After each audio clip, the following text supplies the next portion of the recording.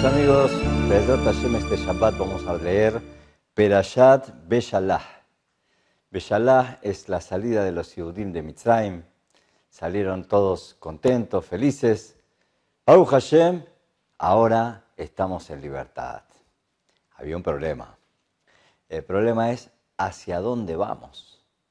Porque ellos estaban en Egipto y después de las diez plagas y según lo que dice la Gadá, que hubo una opinión que eran 200 plagas, quien dice 250 plagas, ¿a dónde vamos ahora? Había una idea de ir a Eretz Kenan, pero Eretz Kenan era un lugar que tal vez ellos sabían de que históricamente les pertenecía, pero estaba ocupado por un montón de gente.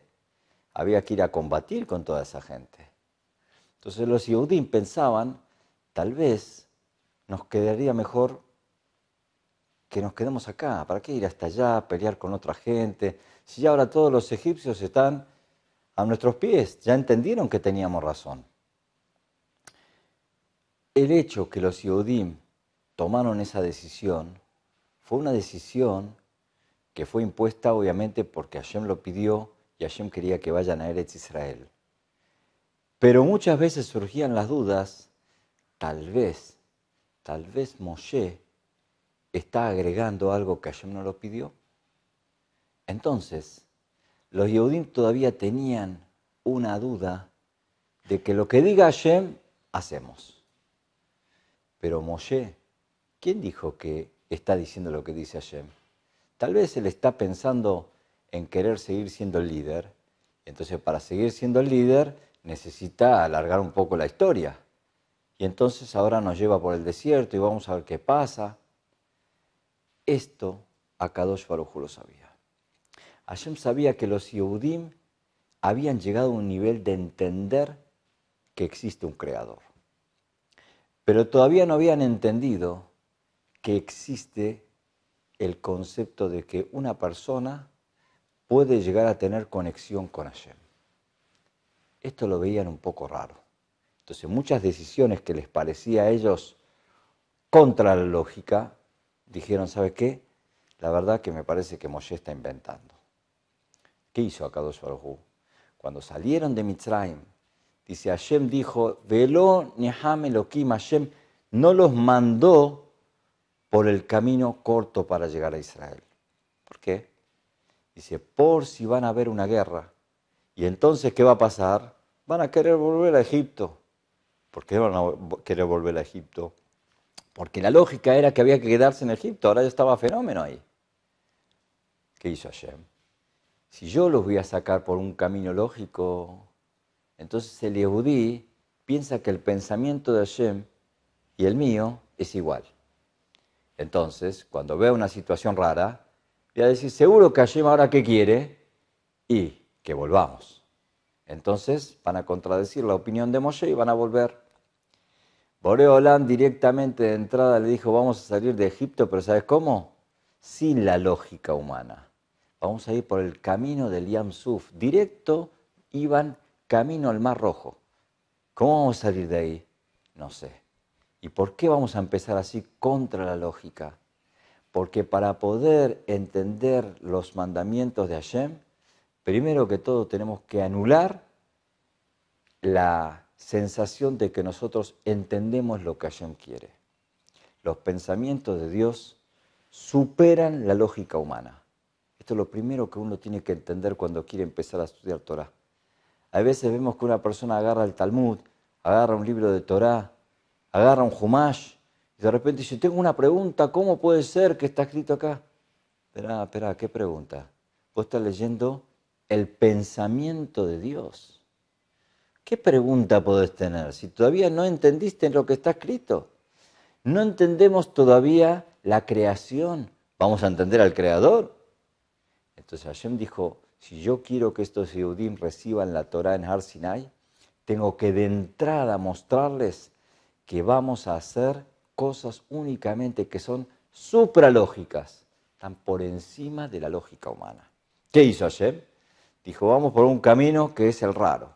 ¿Cuál era el camino raro? Enfrentar el mar. Y uno ve el mar atrás los egipcios, del otro lado del desierto, del otro lado había una idolatría, todos tenían miedo. ¿A dónde vamos ahora? No sabían qué hacer porque ya veían que volver a Egipto no era opción.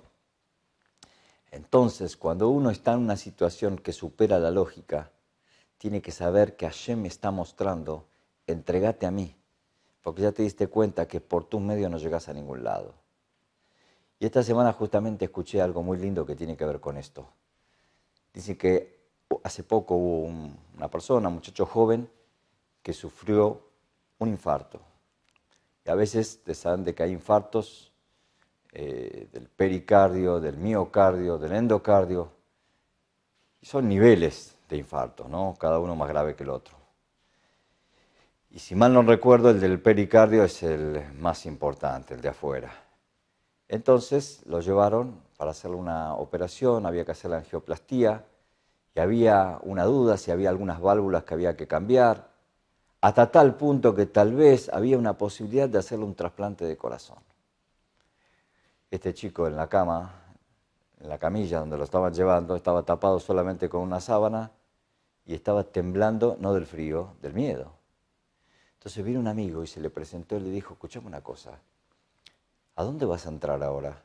Dice, no sé, allá hay unas puertas que se abren, viste que dice quirófano, ahí.